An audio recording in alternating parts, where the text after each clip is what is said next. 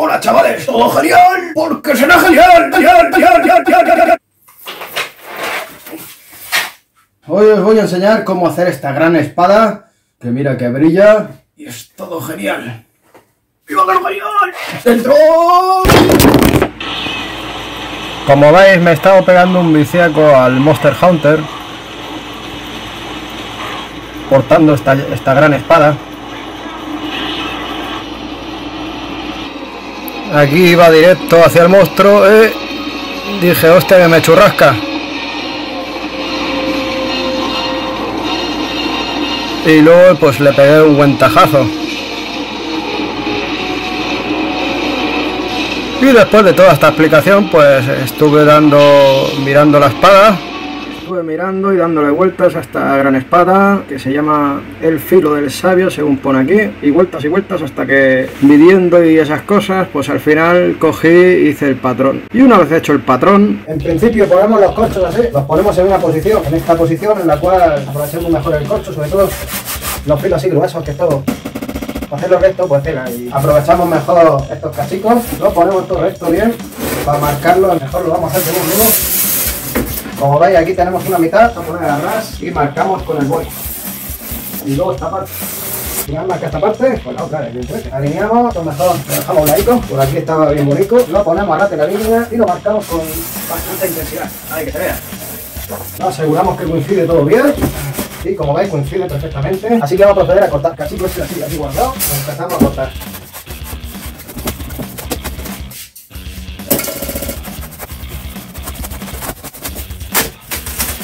Y ya tenemos cortado un buen cachazo. Dejamos este cachico aquí y le damos caña al otro.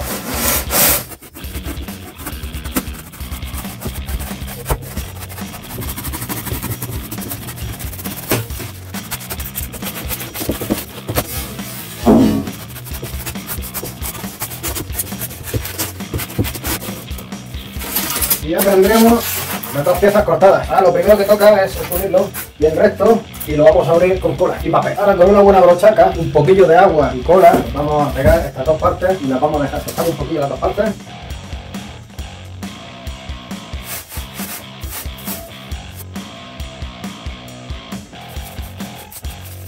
Nos va a pegar suelo. Y la he unido, dejamos un poquillo más de cola, unir las dos partes bien, un poquillo de papel. Y dejaremos secar. Una vez que ha secado, pues parece que quedado bien alineado todo. Aquí he puesto yo una marca donde iría más o menos lo que es el palo. El palo puede ser un palo de escoba o de azada, pero uno bastante largo para que cuando lo tengáis encaje bien y podáis coger las armas. Yo lo he hecho antes, pero voy a recortar por aquí para poder marcar y luego voy a marcar dando aquí un, toque por cada lado y ahora lo vais a ver. Y como veis hemos cortado este cachico en plan travieso y lo volvemos a colocar aquí, vamos a ver, bien encajado y le hacemos la marca.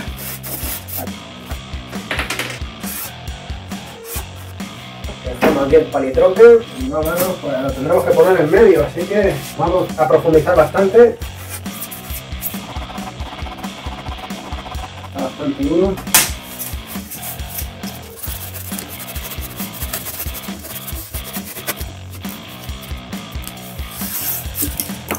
Ya salió esta piececita.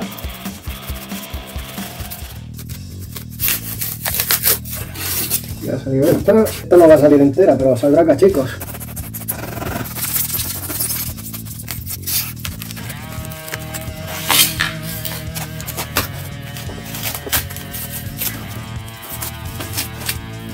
Una vez hemos hecho bien el orificio, pues comprobamos que, entra bien. Por aquí entra un poquito de presión, pero entra bastante bien. Y una vez que lo tenemos así, entregamos el palo primeramente, vamos a el palo del sitio, con cuidado de no sacarlo, que entra la presión. Entramos esto con mucho cuidado porque ahora está ahí de algunos lados. Con una tela vieja que, que tenía yo por ahí, cosa que no sabe lo que sea, que tener las medidas. Pues la extendemos bien, a prepararla para ponerla aquí, y bien el vinculador, para luego ya quitaremos los solantes. ¡Será genial!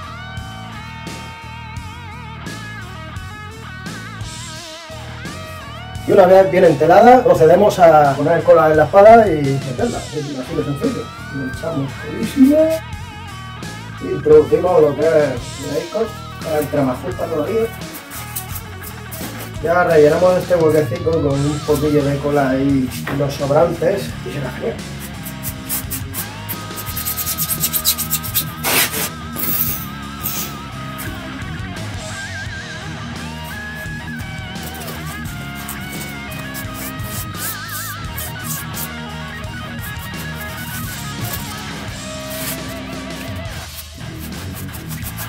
Ahora vamos a marcar lo que son el filo y algunos detallitos para luego poder cortarlo correctamente.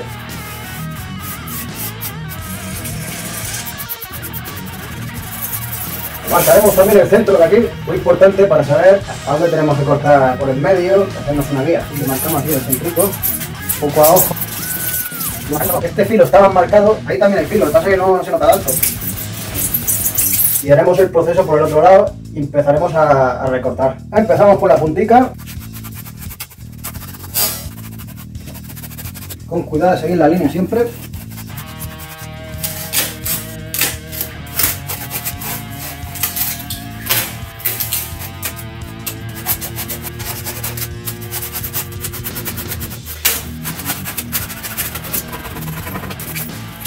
Y una vez está perfilado el filo, hacemos los detalles de aquí, que hay unos detallitos aquí. Marcamos a un centímetro. Marcamos aquí a un centímetro. Va a ser difícil ya que tenemos. Vamos destapando el turrón. Ahora por el otro lado, marcamos y hacemos exactamente lo mismo. Y cuando ya lo tenemos todo detallado, falta un detallito aquí, que se lo pegaremos ahora, lo arreglaremos y lo empapelaremos. Pero lo voy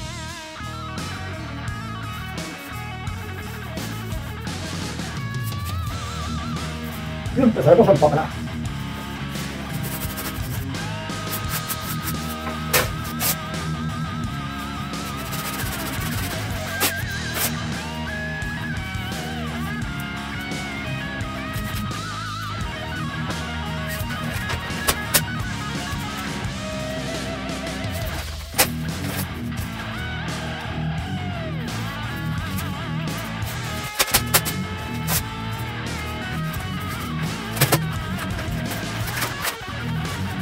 Ahora que hemos empapelado, toca el enterado.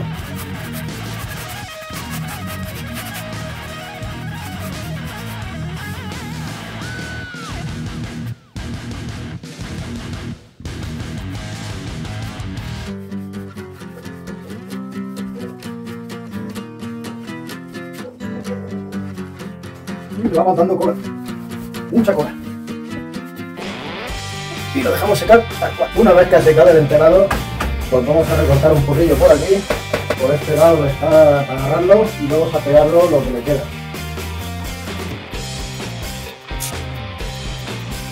Pues le damos la vuelta y empezamos a pegarlo todo.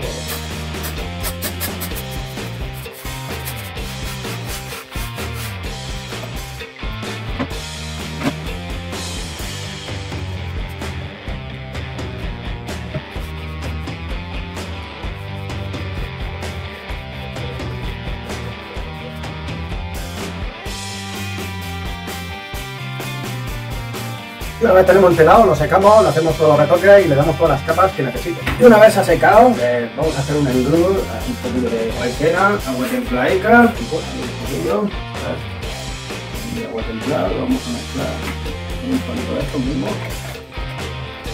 Y le echamos la cola.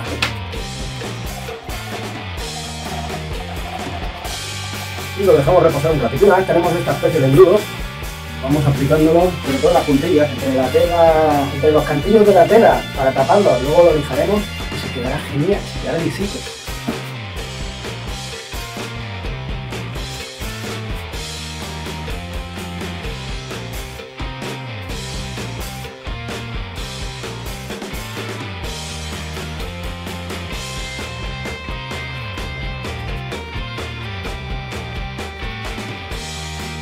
Una vez le hemos aplicado la, capa así de engrudo, esa mezcla de harina, cola y agua, toca lo que es lijarlo, darle unos buenos lijazos. Sobre todo por los poros.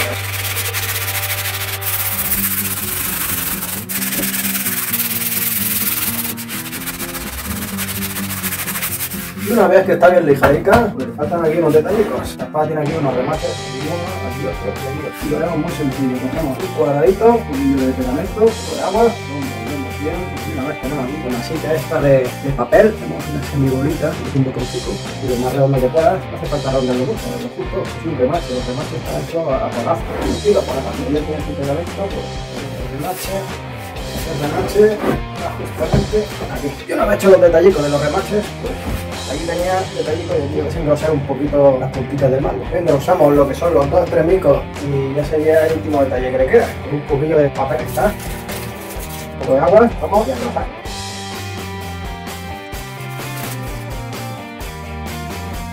ya estaría una parte y me quedaría la otra y la otra de trama. Una vez están apañados los detallitos estos y todos los demás, empezamos a pintar. Preparamos un rojo así, un rojo óxido, un poco de rojo, un poquito de marrón y amarillo.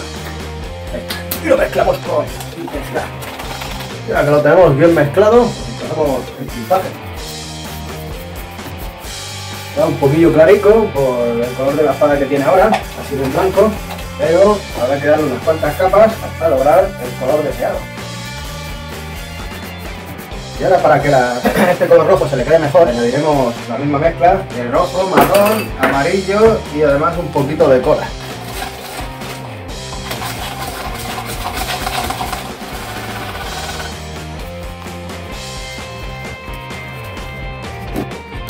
Una vez que ha secado, pues le vamos a añadir ahora muy espolvoreado el color plateado en spray. Muy espolvoreado para que se alcance a ver el rojo, un poquillo de brillo.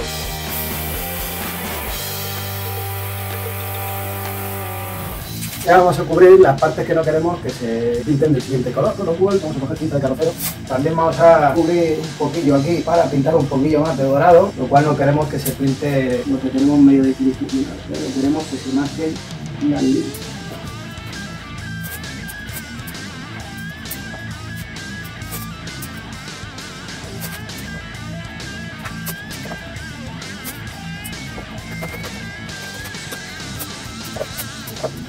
Damos la vuelta, lo cubrimos una chispilla y le damos un poquillo de spray de plata para darle un poco más de brillo. Ahí.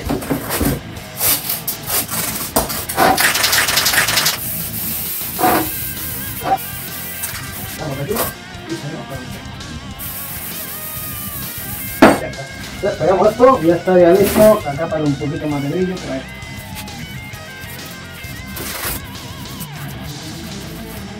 Y por aquí esto ya estaría. Y ahora que lo tenemos todo cubierto, menos la forma de la espiga, vamos a hacer la espiga así brevemente. A ver, yo creo que esto va a ser lo y de hueso, yo creo que esto es poco a poco lo que es la espiga.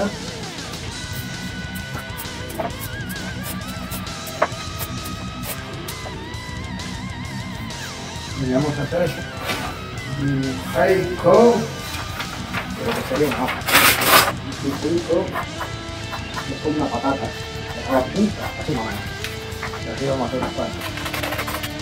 Una vez tenemos esto, pues simplemente poner la cinta encima y recortar. Una vez tenemos la misma figura, pues es recortar así, haciendo la forma de las pegas. Una vez lo tenemos así, pues tenemos que pegarlo como podamos. Y ya tenemos una especie de pegatina, ahí está, perfecta, para poner aquí. Lo pegamos y tenemos que hacer un montonazo hasta llegar aquí. Cuando lleguemos aquí hacemos el resto, copiando la misma figura.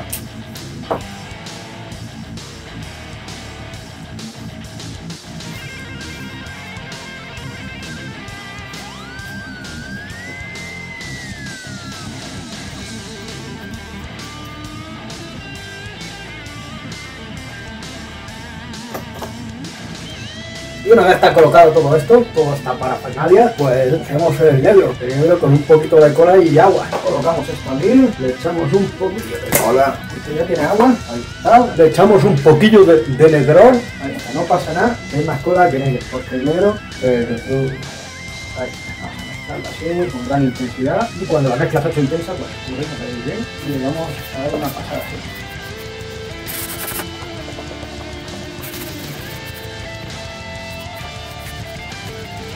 Una vez le hemos dado una capa, le damos todas las que hagan falta hasta que sea genial. Ahora pintamos lo que son los mangos de azul, como bien está en la espada normalmente. Un poquillo de azuleico, tiene una gotita de agua, una gotilla de cola. Lo mezclamos con mucha intensidad y pintamos por donde lo agarramos. y lo dejamos secar. Y una vez ha secado, pues hay que quitarle toda la chimaja, lo que es toda la cinta de carrocero. Vamos a, ver, vamos a quitarlo a ver qué tal ha quedado genial. vamos a ver la hojita.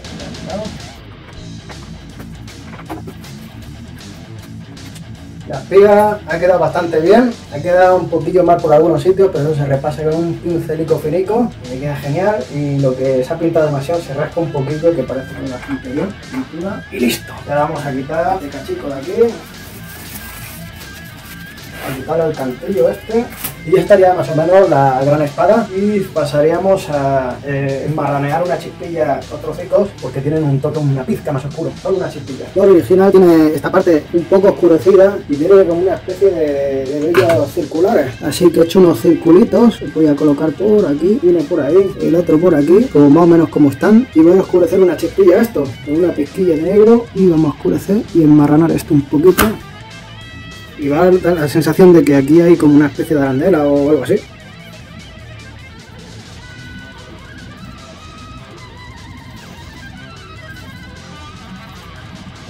Y para finalizar, una capa de barniz.